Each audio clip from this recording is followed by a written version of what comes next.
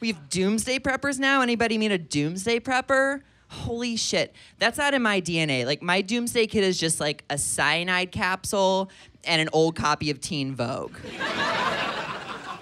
and I'm not gonna leave a note either. I'm just gonna scribble in it. I took the Sex in the City quiz and got Miranda.